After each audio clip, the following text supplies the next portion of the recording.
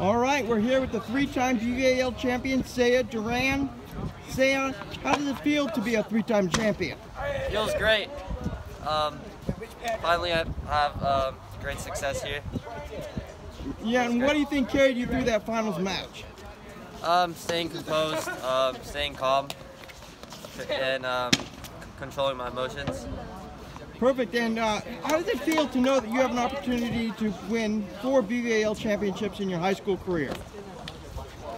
It'll be awesome if I can do so. Um, it'll be it'll be great if I can if I can pull it off. Perfect. And thank you very much. And this is Kyle with thepress.net.